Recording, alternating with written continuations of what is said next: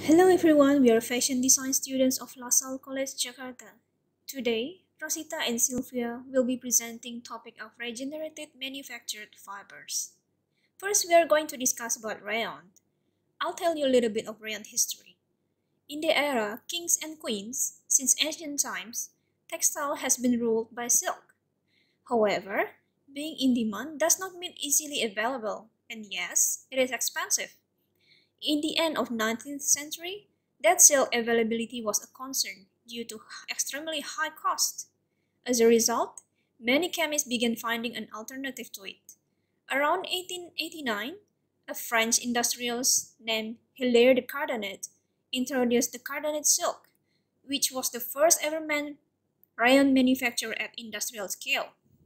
Since then, many varieties have got introduced that have the appearance of silk but actually rayon. The common material is cellulose. Yes, usually wooden pulp as a source of cellulose. Wood pulp is converted using wet spinning method, a soluble compound that is further pressed with a force-through spinneret. Thin fibers will be formed. This further treated with chemicals and at the end, it is rayon. This is why rayon is not considered to be entirely synthetic. Even, the, even though the basic material is natural, Rayon is partly natural and partly synthetic. Can't you tell me where exactly, exactly we use it? The major use of rayon is making clothes. clothes.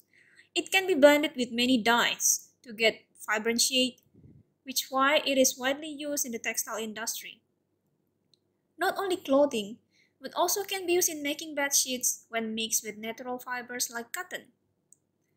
We can mix rayon with other natural fiber too, Let's take example, rayon blended with wool to help us get softly, shiny fibers that can be used to make carpets.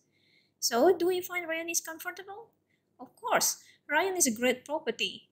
It's a soft fabric that is comfortable to wear, even softer than cotton. Absorbent, but becomes weaker when wet. The, the other bad thing is, it's also low thermal retention. So, I think it's not suitable for people living in the cold weather. Now, we will be talking about lyocell. What is that? We will find similarities with rayon, but those still have differences. Lyocell is a fabric made also from wood pulp. For the most part, this is eucalyptus. What makes the difference with rayon? It is just different in the manufacturing process. Lyocell is made by using solution called NMMO to break down the fibers. Technically, Lyocell is a subcategory of rayon, a subcategory created by researchers who wanted a more environmentally way, friendly way of creating rayon. Pat White and the British company created a method of manufacturing lyocell fiber in 1982. In that year, they were, they were able to create up to 100 kilos per week. This rose to 1 ton per week in 1984. One of the major claims to fame of lyocell is the ability to absorb excess liquid, regulate body temperature, and maintain water balance. So the people with bad body odor and sensitive skin, lyocell is the best choice.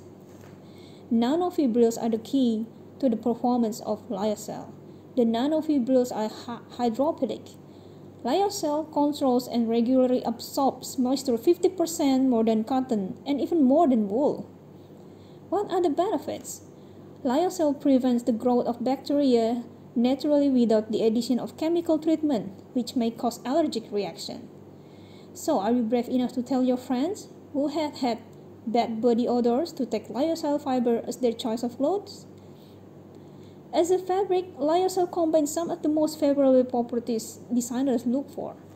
There is probably better example of this than the fact that it's used to substitute for cotton or silk, in particular to make dresses, shirts, towels, and underwear. Now we are moving on to acetate. Although it's also made from wood pulp like rayon and lyocell, acetate fabric is considered a semi-synthetic. The main advantage of semi-synthetic acetate fiber compared to natural fibers, it is very low cost. Cellulose acetate is the acetate ester of cellulose. It was first discovered in 1865 by French chemist Paul Schutzenberger. Acetate fabric was first introduced in 1924 in the United States and later commercially produced when chemists found a solution to easily dye the fabric with durable colors. Acetate flakes are formed by the combination of acetic acid with cellulose from wood.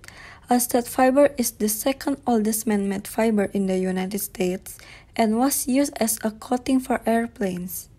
But semi-synthetic fabrics made of acetate fibers aren't the most environmentally friendly. Their manufacturing has a disastrous environmental impact. Acetate fabrics are regularly used in fashion to produce clothing and accessories because they are smooth, thin, and affordable. They resemble luxurious silk. In the textile apparel industry, acetate fabric is often used to make knitwear, evening dresses, wedding attires, blouses, sweaters, undergarments. It is widely used in satins, brocades, and taffetas. Cellulose acetate is widely produced to make cigarette filter tow, used in the majority of cigarette filters worldwide. It helps remove tar and nicotine while keeping a convenient taste. How does it produce? Acetate is manufactured by deconstructing wood pulp into a purified fluffy white cellulose using acetic acid, acetic anhydride, sulfuric acid, and acetone. Why is it dangerous to environment?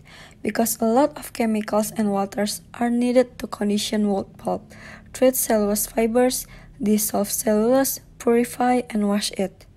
How about acetate physical appearance? Acetate has high glass, good drip, and a smooth texture. But acetate cannot be heated, lose some strength when wet, and wrinkle easily.